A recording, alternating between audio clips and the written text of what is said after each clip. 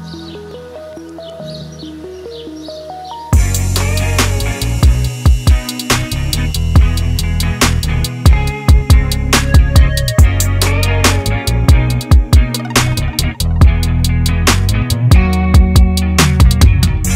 up guys, my name is Jeffrey from Inside Audio and over the past years we recorded audio at so much different locations.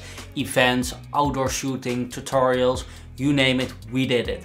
And we learned so much along the way. Audio is always super difficult to get right when you're just starting out.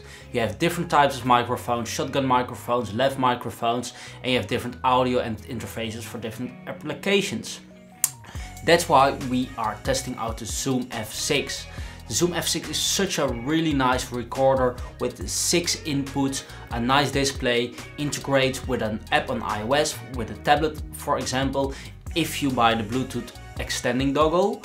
And it's such a versatile, high quality field recorder to put in your backpack, on the go, plug in six outputs at the same time and still keep the overview of what's happening and what's what what channels you get on each level.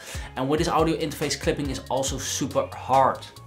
So we tested the Zoom F6 in a recording session that you can see here very quickly. And we must say it's a super great recorder. Um, it has a really high quality displays. The six input buttons are quite placed close together, but still easy to control. And especially if you connect it with an iOS app that is coming free with it.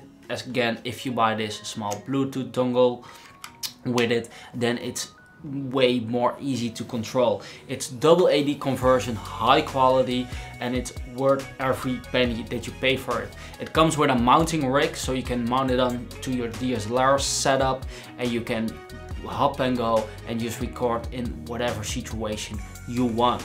So it's very well built as well. You have time coding, you can mo monitor directly, and there are a lot of settings inside this thing to customize it to your needs. So if you have any questions about the Zoom F6, let us know in the comments. Make sure to check out the full re review on Inside Audio and like and subscribe to this YouTube channel and video if you want to see more videos like this.